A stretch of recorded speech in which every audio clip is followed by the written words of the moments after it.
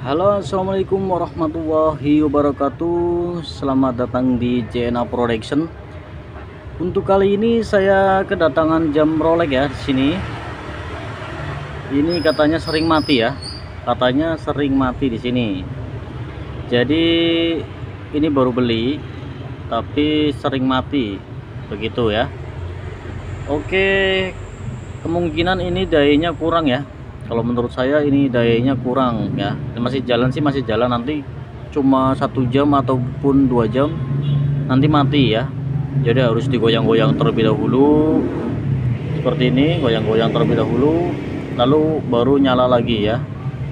Oke untuk jam Rolex seperti ini ataupun jam otomatis ya. Otomatis automatic itu yang merek lainnya pun sama ya jadi untuk pengisian dayanya seperti ini. Ini tombol ini tombol ini tidak usah ditarik ya.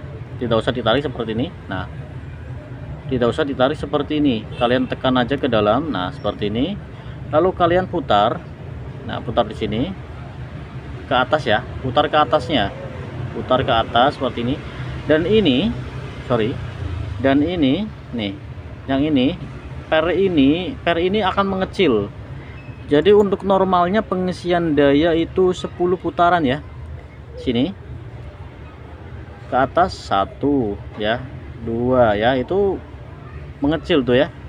Tiga empat lima enam tujuh delapan sembilan sepuluh. Nah seperti ini ketika sudah seperti ini kemungkinan ini pengisian daya bisa bertahan sampai 12 jam bahkan sampai 15 jam ya.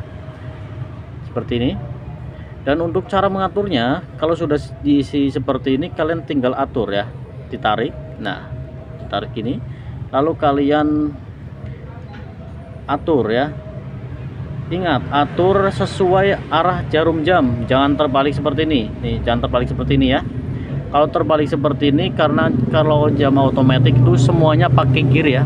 Kalau misalkan terbalik nanti rontok. Jadi kita atur sesuai dengan arah jarum jam ya. Kita jam 10 pas seperti ini. Ketika sudah pas kalian tekan di sini. Nah ini otomatis nantinya akan bertahan jalan sekitar 12 jam ke atas ya kita cuma seperti ini didiemin aja. Itu jalan juga ya jalan juga sampai kemungkinan 12 jam ataupun 15 jam. Jadi seperti itu.